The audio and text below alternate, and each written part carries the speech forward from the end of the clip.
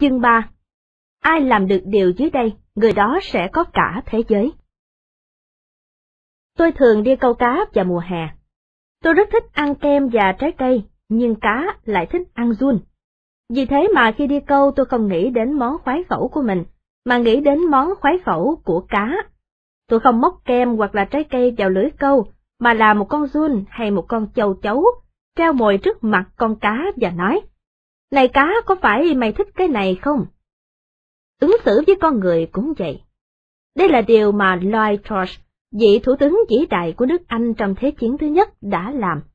Khi có người hỏi làm thế nào mà ông giữ vững được quyền lực, trong khi nhiều nhà lãnh đạo thời chiến ở các nước khác thường bị lãng quên.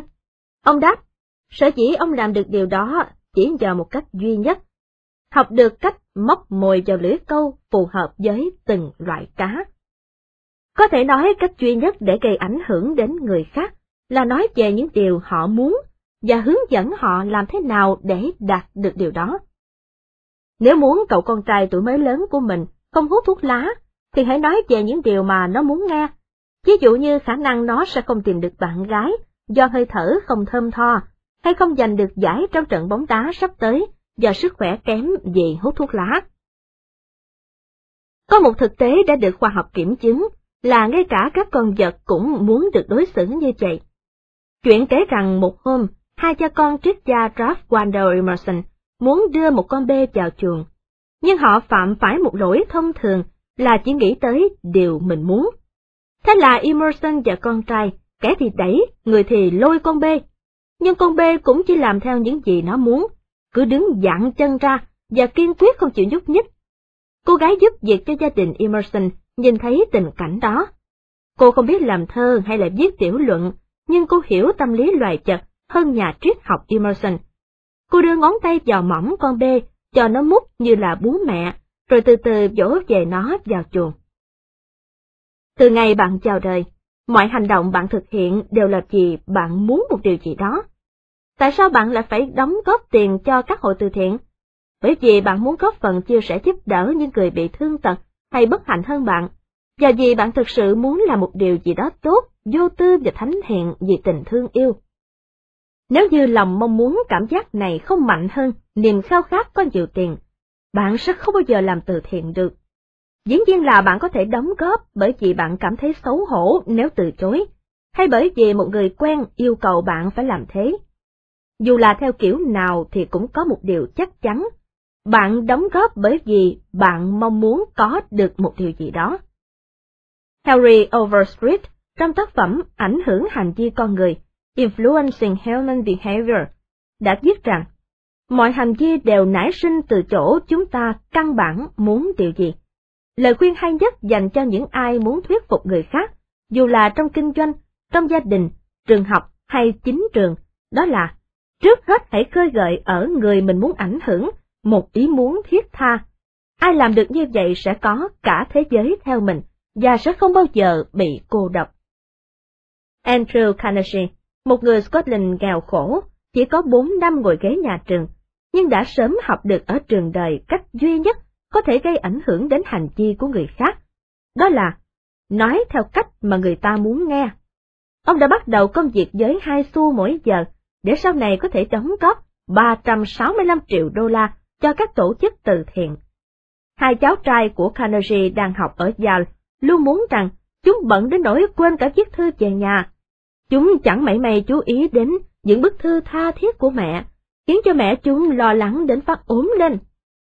Carnegie đánh cuộc 100 đô la rằng ông có thể làm cho hai đứa cháu trả lời ngay lập tức, mà thậm chí không cần phải yêu cầu một lời nào. Ông viết cho hai cháu một bức thư thăm hỏi. Cuối thư ông nói rằng, ông có gửi cho mỗi đứa một tờ 5 đô. Nhưng ông giả vờ quên không bỏ tiền vào phong bì, và đúng như ông tiên đoán, thư trả lời đến ngay lập tức. Chú Andrew thân mến. Ôi, tôi đoán chắc là bạn có thể tự mình đoán ra phần còn lại của bức thư. Một ví dụ khác về cách thuyết phục là câu chuyện của Stan Novak ở Cleveland, Ohio. Một buổi chiều nọ Stan đi làm về, và thấy đứa con trai út tên là Tim đang gào khóc trong phòng khách. Cậu bé không muốn đến trường mẫu giáo vào ngày mai. Thay vì phản ứng như bình thường là đuổi thằng bé ra khỏi phòng và buộc nó hứa là phải đi học. Stan bình tĩnh ngồi xuống và suy nghĩ. Nếu mình là Tim, tại sao mình lại tức tối chuyển đến trường mẫu giáo nhỉ? Chắc là vì ở trường chẳng có gì hay, mà bố mẹ lại không cho mình được ở nhà chơi. Thế là sau đó hai vợ chồng anh đã lập ra một danh sách mọi trò chơi thú vị mà Tim sẽ được tham gia ở trường mẫu giáo, như là vẽ tự do bằng đầu ngón tay, múa hát này, chơi với những người bạn mới này.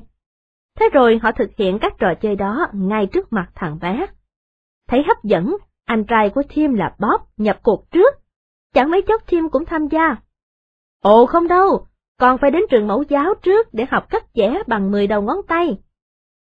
Với tất cả sự hăng hái, người cha đọc toàn bộ danh sách những trò vui chơi ở trường theo cách mà cậu bé hiểu được, kể cho cậu bé nghe mọi điều thú vị ở trường mẫu giáo. Sáng hôm sau Stan ngỡ ngàng khi thấy Tim đang ngồi ngủ say trên chiếc ghế ở phòng khách, vì đã thức dậy từ rất sớm để đợi bố đưa đến trường. Tim nói với cha, bởi vì con không muốn đến trường muộn. Sự hăng hái của cha mẹ và anh trai đã làm nảy sinh ở Tim sự khao khát đến trường, trong khi bao nhiêu lời khuyên bảo hay dọa nạt đều vô ích. Nếu lần sau bạn muốn thuyết phục ai đó làm việc gì, thì trước khi làm điều đó bạn hãy tự hỏi, tôi có thể làm gì để người đó tự nguyện làm điều này? Tôi thường thuê theo mùa một khán phòng lớn tại một khách sạn ở New York, khoảng 20 buổi tối mỗi mùa, để tổ chức các cuộc diễn thuyết. Gần đến ngày khai mạc, người quản lý khách sạn đột ngột báo tin rằng tiền thuê đợt này tăng gấp 3 lần so với trước. Lúc đó toàn bộ thư mời đã được gửi đi. Dĩ nhiên tôi không muốn trả thêm tiền, nhưng nói với khách sạn về những điều tôi muốn thì có lợi ích gì? Họ chỉ quan tâm đến điều họ muốn. Hai ngày sau tôi quyết định đến gặp người quản lý và nói. Tôi rất bất ngờ khi nhận được bức thư của ông, nhưng tôi không hề trách ông. Nếu ở vào cương vị của ông, có lẽ tôi cũng làm tương tự. Trách nhiệm của người quản lý khách sạn là phải đạt được lợi nhuận bằng mọi cách. Nếu ông không làm thế, ông sẽ bị đuổi việc. Tôi hoàn toàn thông cảm với ông. Vậy bây giờ chúng ta hãy cùng thử phân tích những cái được và những cái mất có thể xảy ra nếu ông tăng tiền thuê đợt này nha. Sau đó tôi lấy ra một tờ giấy, dạch một đường ở giữa, bên này ghi là được, bên kia ghi là mất.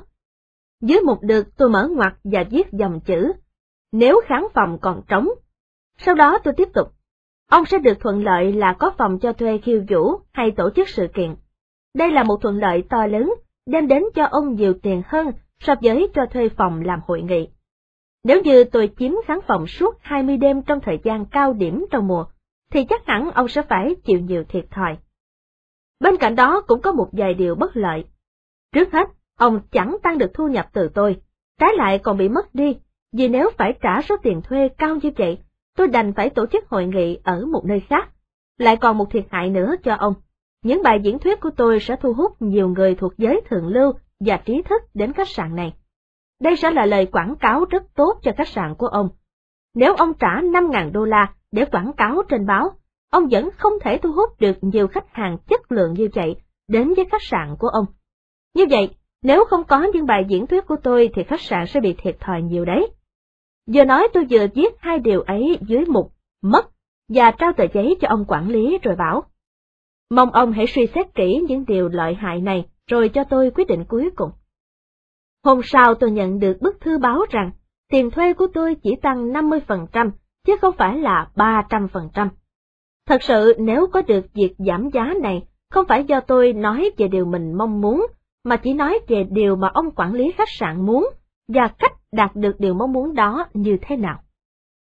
Henry Ford từng nói, nếu như có một bí quyết nào để thành công, thì đó nằm ở khả năng hiểu và thông cảm với quan điểm của người khác, và nhìn sự việc theo góc độ của người đó, cũng như theo góc độ của chính mình. Đây là lời khuyên kinh điển nhất từ xưa đến nay trong nghệ thuật đối nhân xử thế. Một chân lý đơn giản và hiển nhiên mà bất kỳ ai cũng biết. Thế nhưng có tới 90% con người trên trái đất này lại quên dùng đó trong suốt 90% thời gian sống của mình. Hãy xem những bức thư được chuyển đến bàn viết của bạn vào sáng mai. Bạn sẽ thấy hầu hết đều vi phạm nguyên tắc quan trọng đó. Chúng ta sẽ cùng thử đọc và phân tích bức thư của giám đốc bộ phận truyền thông của một công ty quảng cáo có chi nhánh trên toàn quốc gửi cho những người quản lý các trạm phát thanh địa phương. Lưu ý rằng trong ngoặc đơn là phản ứng giả định của chúng ta khi đọc từng đoạn. Kính gửi ông John Blank, Blankville, Indiana. Ông Blank thân mến, công ty Z luôn mong muốn duy trì vị trí đứng đầu ngành quảng cáo ở lĩnh vực truyền thanh. Mở mặt đơn. Ai cần biết công ty ông muốn gì, tôi lo việc của tôi còn chưa xong nữa. Ngân hàng đòi tịch thu nhà tôi để siết nợ đây. Sau bỏ đang ăn trụi cả đám rau quả rồi, chứng khoán hôm qua thì lại sụt giá. Tôi lại vừa bị mất tới 85% giá trị cổ phiếu sáng nay, không được mời đến cuộc khiêu vũ tại nhà John tối hôm qua nữa. Bác sĩ bảo tôi bị cao huyết áp, bị suy sụp thần kinh và tóc thì có gào, đã quá đủ rồi, vậy mà sáng nay còn bị một thằng nhóc nào đó ở New York gửi thư ba qua về cái điều mà công ty nó muốn, thật là bực mình, chỉ cần hắn hiểu bức thư này là mất thiện cảm như thế nào, chắc hắn đã rút khỏi ngành quảng cáo mà về nhà chăn dịch cho rồi. Các chương trình thông báo quảng cáo quốc gia đều do công ty chúng tôi đảm nhiệm. Việc triển khai nhanh chóng đúng thời hạn đã giúp cho chúng tôi liên tục đứng ở vị trí đầu ngành trong nhiều năm qua. Mở ngoặt đơn. Công ty ông lớn mạnh, giàu có, đứng đầu hả? Thế thì sao nào? Dù công ty ông có lớn như tập đoàn General Motors hay là General Electric, hoặc là Bộ Tổng Tham mưu quân đội Mỹ, hay là bằng tất cả cộng lại đi nữa thì cũng vậy thôi. Nếu ông có được một chút thông minh, hẳn ông phải hiểu rằng tôi quan tâm tới việc tôi quan trọng như thế nào, chứ không phải là ông quan trọng như thế nào. Chuyện thành công to lớn của ông chỉ làm cho tôi bực bội vì cảm thấy mình bé nhỏ và chả có giá trị gì. Chúng tôi muốn cung cấp cho khách hàng thông tin chi tiết về tình hình của các đài phát thanh. Mở ngoặc đơn. Ông muốn ư?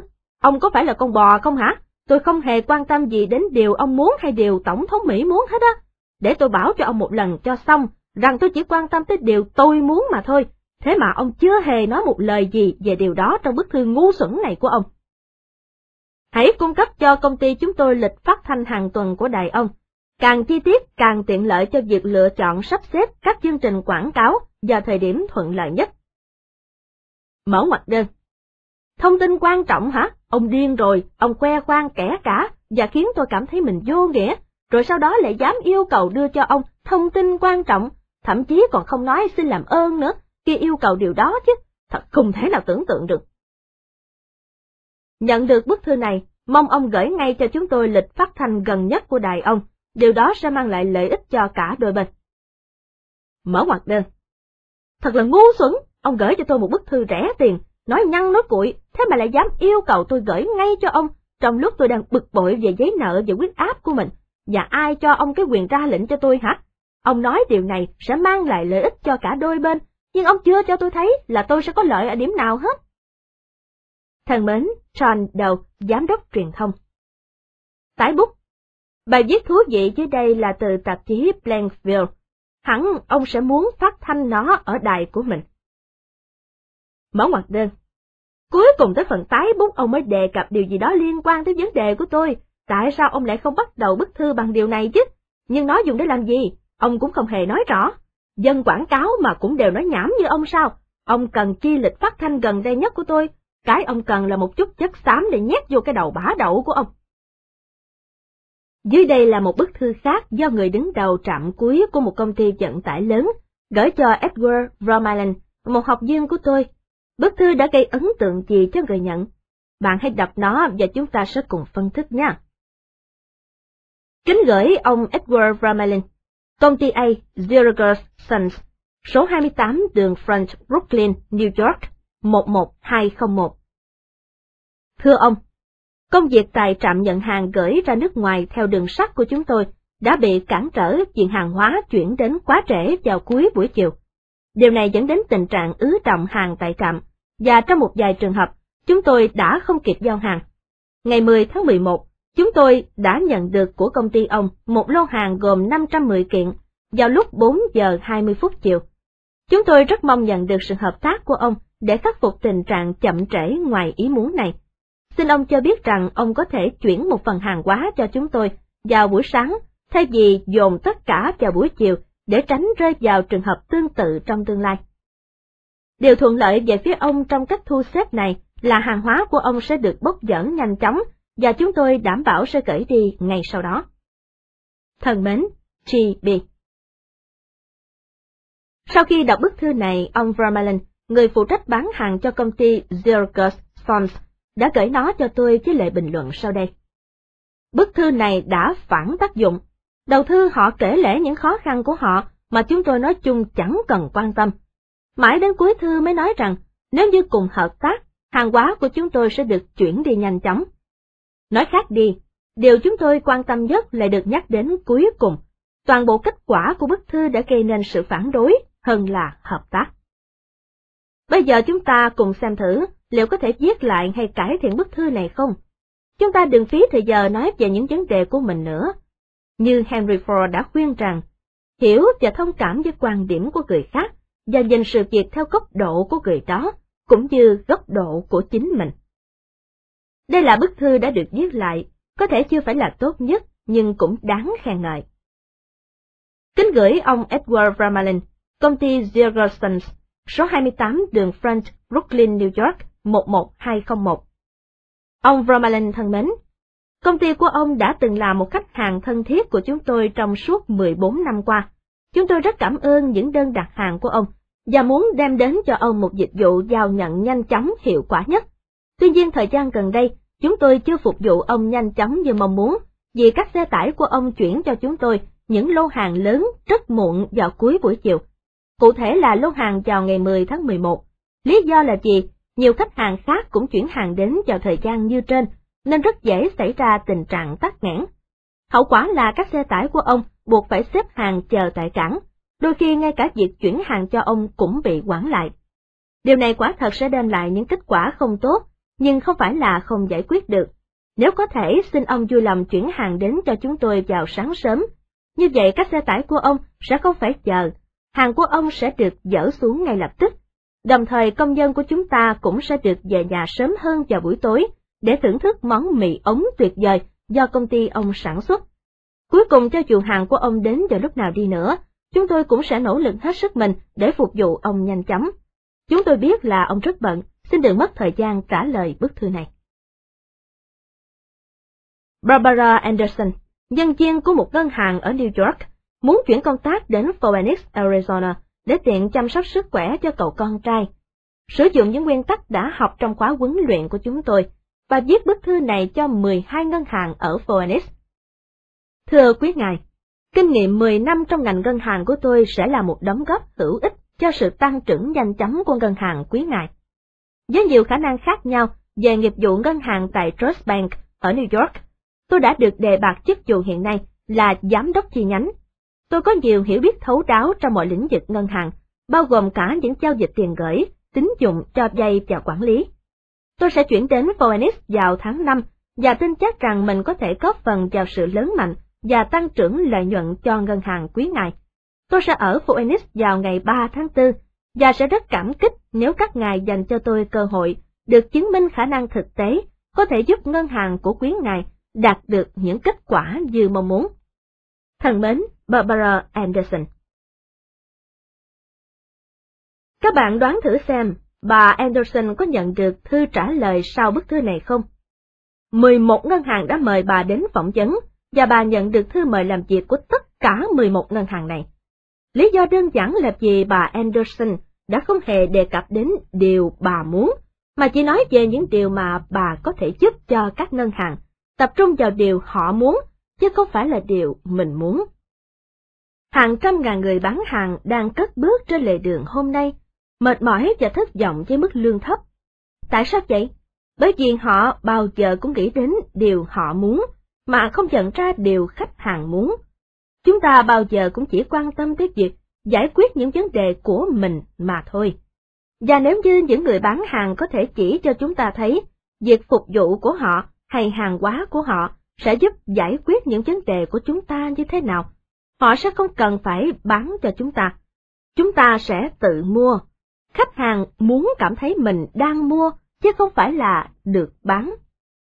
Thế mà nhiều người bán hàng lại bỏ phí cả cuộc đời đi bán sản phẩm của mình mà không tìm hiểu ý muốn của người mua.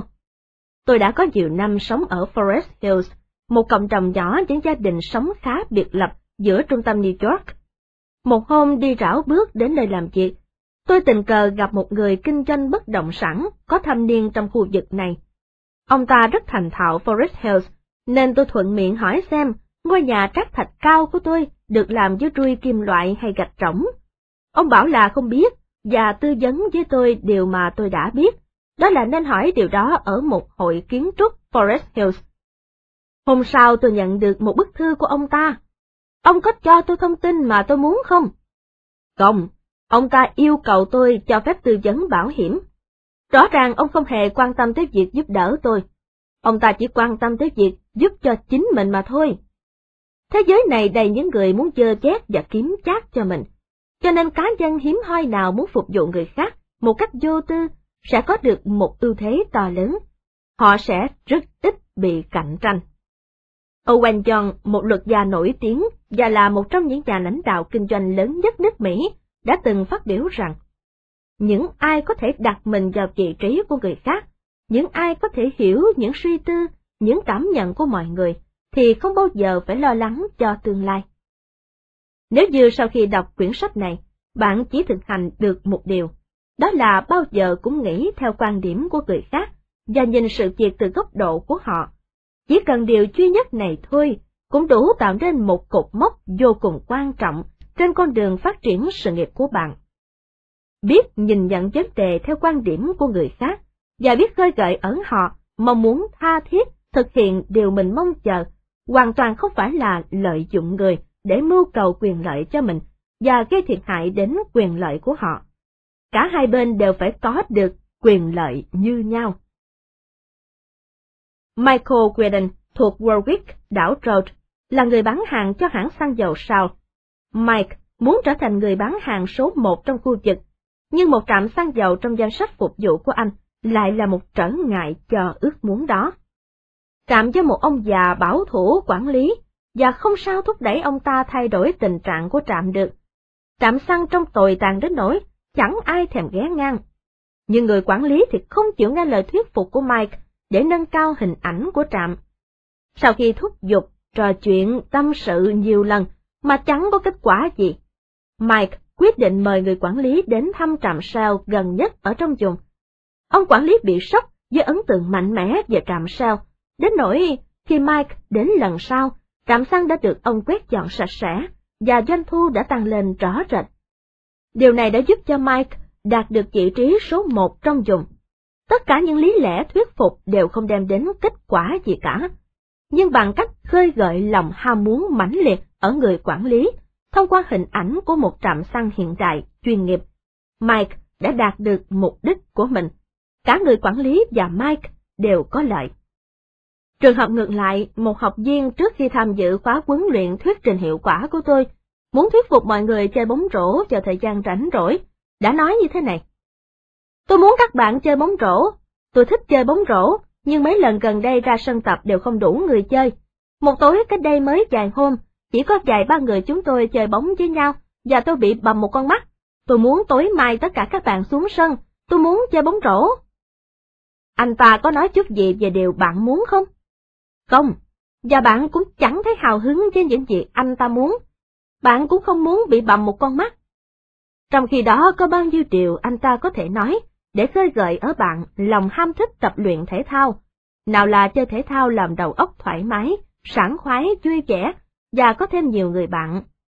Xin được một lần nữa nhắc lại lời khuyên khôn ngoan của giáo sư Overstreet. Trước hết hãy khơi gợi ở người khác một ham muốn mãnh liệt ai làm được điều đó sẽ có cả thế giới, bằng không họ sẽ cô độc một mình. Một học viên của tôi rất bực mình về cậu con trai nhỏ, thằng bé suy dinh dưỡng mà lại biến ăn.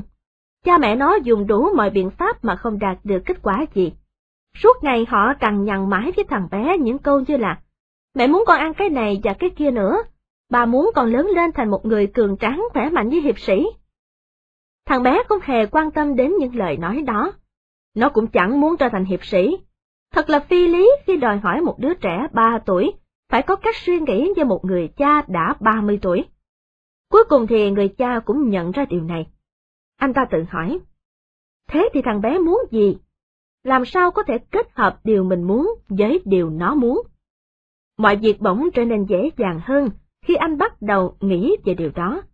Cậu con trai có một chiếc xe ba bánh mà cậu thích đạp đi chơi trên hè phố Brooklyn. Cách đó vài căn nhà, có một đứa bé lớn hơn thường giành xe của con anh. Những lúc như vậy cậu bé thường mếu máu và chạy đi mất mẹ. Người mẹ phải can thiệp và sự việc này cứ tái diễn hàng ngày. Vậy cậu bé muốn gì? Không cần phải là một thám tử lành nghề như Sherlock Holmes mới có thể tìm ra điều đó. Lòng tự hào bị tổn thương, những xúc cảm mạnh mẽ nhất trong nó đều thúc giục nó phải trả đũa, phải nện cho cái thằng đáng ghét kia một cú vào giữa mũi. Người ta chỉ cần nói rằng, nếu nó chịu ăn những gì ba mẹ bảo, thì một ngày nào đó nó sẽ đủ sức khỏe và không bị thằng bé to lớn kia ăn hiếp nó nữa.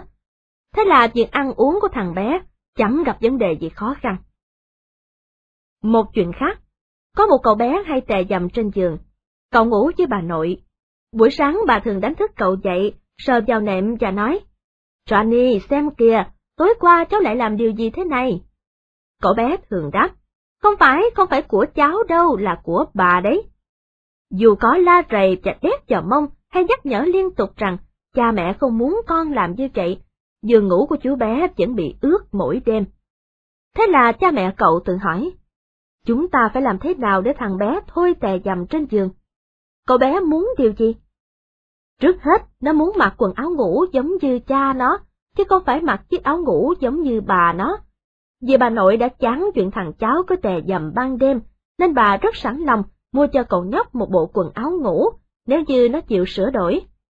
Thứ hai, cậu bé muốn có một cây giường của chính mình. Bà nội và bố mẹ cũng không phản đối. Mẹ nó đưa nó đến cửa hàng bách hóa, đưa mắt ra hiệu với cô bán hàng và nói, chàng trai trẻ này muốn mua vài thứ ở đây đấy. Cô bán hàng tỏ vẻ quan trọng bằng cách hỏi, Ồ, chàng trai trẻ, cậu muốn mua gì nào? Cậu bé nhón chân cho có vẻ cao thêm và nói, em muốn mua một cái giường cho riêng em. Bà mẹ ra hiệu cho cô bán hàng giới thiệu với cậu cái giường mà bà muốn mua cho cậu. Còn cậu nhóc thì cứ hí hửng tin rằng đó là cái giường mà chính nó đã chọn mua. Hôm sau thì chiếc giường được đưa đến, và đêm đó khi người cha vừa chạy đến nhà, cậu bé đã chạy ra cửa và reo lên. Ba ơi, ba lên mà coi cái giường của con mới mua. Người cha nhìn chiếc giường rồi hỏi cậu bé. Con sẽ không tè dầm lên giường của mình nữa chứ, phải không nào? Cậu bé trả lời ngay lập tức. Không đâu, không đâu, con sẽ không bao giờ làm ướt cái giường của mình. Thằng bé đã giữ lời hứa vì lòng tự hào của nó. Đây là cái giường của nó. Chỉ một mình nó mua mà thôi. Nó lại mặc quần áo ngủ với một người lớn. Cậu bé muốn hành động với một người lớn, và đã thực sự làm được như vậy. Một người cha khác là Dutchman, kỹ sư vô tuyến điện, cũng là một học viên của tôi, không thể thuyết phục được cô cháu gái ba tuổi chịu ăn sáng. La rầy, dọa nạt hay gian nài dỗ dành đủ mọi kiểu đều vô hiệu. Cha mẹ bé tự hỏi, chúng ta phải làm như thế nào để nó chịu ăn sáng đây? Cô bé muốn bắt chước mẹ để cảm thấy mình lớn và trưởng thành. Thế là một buổi sáng nọ, họ đưa cô bé đến một chiếc ghế cao và để bé tự nấu mì ăn sáng. Vào đúng giờ phút quan trọng, cô bé đang nấu mì, thì người cha bước vào bếp. Vừa trông thấy cha, cô nhỏ đã reo lên. Ba ơi xem này, con đang tự nấu mì đấy. Sáng hôm đó cô bé đã tự nguyện ăn những hai tô mì mà không cần ai nhắc nhở cả. Cô bé đã thể hiện được mình trong việc tự tay nấu mì. William Winter đã từng nhận xét, tự thể hiện mình là nhu cầu cơ bản của con người. Chúng ta có thể ứng dụng yếu tố tâm lý này vào kinh doanh. Mỗi khi bạn có được một ý tưởng đặc biệt, bạn nên gợi cho người khác ý tưởng đó, và để họ biến nó thành hiện thực. Lúc đó họ sẽ xem ý tưởng đó là của họ, họ sẽ yêu thích nó và dốc sức thực hiện bằng mọi giá. Dễ khi nhận, nhưng khó khi cho. Dễ là khi nghĩ xấu về người khác, nhưng khó là khi tặng cho họ niềm tin. Dễ là khi dập tắt đi ước mơ của người khác, và khó là khi gợi cho người khác một mong muốn tha thiết. Vậy tại sao ta không làm một điều có mà hiệu quả thật tốt như khơi gợi mong muốn thiết tha ở một con người? Nguyên tắc 3 Gợi cho người khác ý muốn thực hiện điều bạn muốn họ làm. Tóm tắt nghệ thuật ứng xử căn bản Nguyên tắc 1 Không chỉ trích, oán trách hay than phiền. Nguyên tắc 2. Thành thật khen ngợi và biết ơn người khác. Nguyên tắc 3. Gợi cho người khác ý muốn thực hiện điều bạn muốn họ làm.